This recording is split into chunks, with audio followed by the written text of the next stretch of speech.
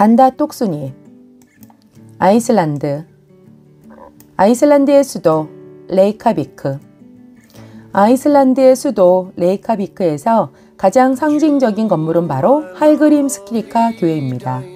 1945년 착공해서 1986년까지 건축물이 완성되는 데는 꽤 오랜 시간이 걸렸습니다.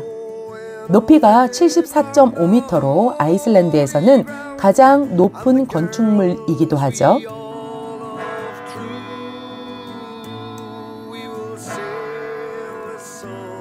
가장 높은 곳인 만큼 이곳에 전망대가 마련되어 있는데요. 전망대까지는 유료로 운영이 되고 교회 내부는 무료로 들어갈 수 있습니다.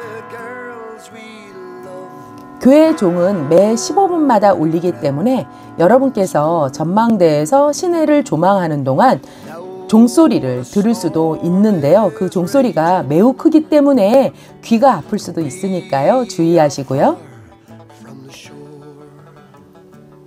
교회 전망대에서 내려다 보이는 레이카비크의 시내 전경은 매우 아름답고 동화 같은 그런 풍경을 자아내고 있습니다.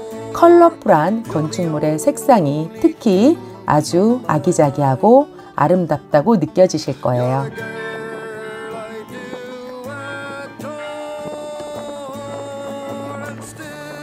교회의 내부는 매우 단아하고 단조로운 모습입니다. 유럽의 화려한 성당과는 매우 다른 느낌이죠.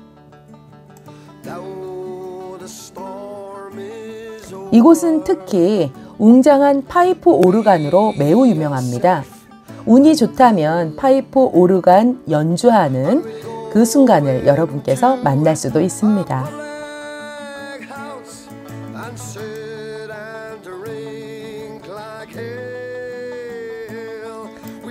레이카비크 교회에 야외 노천 해수욕장이 있습니다.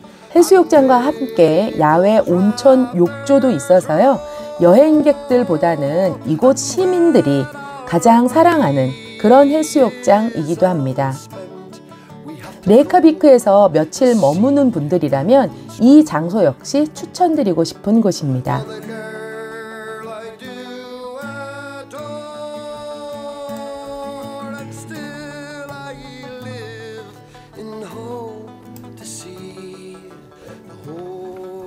시 외곽에는 팔란이라고 하는 박물관이 있습니다. 아이슬란드의 빙하 체험이라든지 오로라가 뜨는 모습을 이곳에서 박물관에서 전시를 통해서 만나보실 수도 있습니다. 레이카비크 시내에 있는 건축물 중에 가장 유명하고 화려한 곳을 꼽으라면 아마도 하르파 콘서트홀이라고 할 수 있는데요. 바다를 접하고 있는 하르파 콘서트홀은 아이슬란드의 절벽과 주상절리에서 영감을 받은 건축물로 2011년 오픈한 것입니다.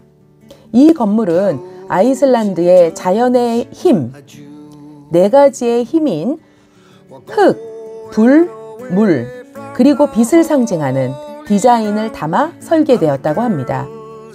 결국 아이슬란드의 자연을 닮은 건축물이라고 할 수 있습니다. 내부로 들어가서 보시면 창을 통해서 들어오는 빛과 그림자가 일품이라는 걸 여러분이 체험하실 수 있을 거예요.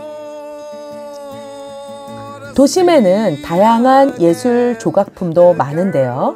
그 중에서도 선 보이저 조형물은 마치 배 모양 같기도 하고 생선 가시를 연상케도 하는데요.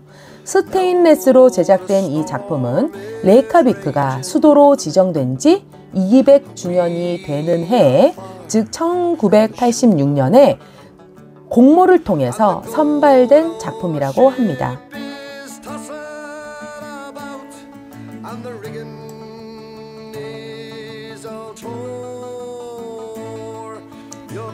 레이카비크의 야경 역시 마치 동화 마을처럼 아름다운 빛의 향연을 보여주는 전경을 자랑하고 있답니다. 레이카비크 시내에서 가장 유명한 거리 무지개 거리입니다. 이 무지개 거리를 따라서 다양한 공예점이라든지 카페, 음식점, 선술집 이런 곳들이 몰려 있기 때문에 이 무지개 거리를 찾아가시면 여러분께서 아이슬란드의 다양한 상점들을 구경하실 수도 있습니다. 레이카비크 해변 끝쪽으로 호프디 하우스라고 하는 건물이 있습니다. 이곳은 당시 1986년 10월에 정상회담이 열렸던 곳인데요. 냉전이 종식되는 그 순간에 열렸던 고르바초프와 미국의 레이건 대통령이 정상회담을 열었던 역사적인 그런 장소입니다. 레이카비크 도심에는 아담한 튜린이라고 하는 호수가 있어요. 이 호수 근처에는 미술관과 레이카비크 시청사 그리고 다양한 거리 예술을 하는 사람들 뿐만 아니라 알싱이라고 하는 국회 의사당에 해당되는 건축물도 있기 때문에 행정과 문화의 중심지라고 할 수 있습니다. 다양한 볼거리가 있는 레이가, 레이카비크의 여행. 써니하고 해피한 여행. 여러분과 함께 갑니다. 간다 똑순이 구독과 좋아요는 큰 응원이 됩니다. 아이슬란드 레이카비크 감사합니다.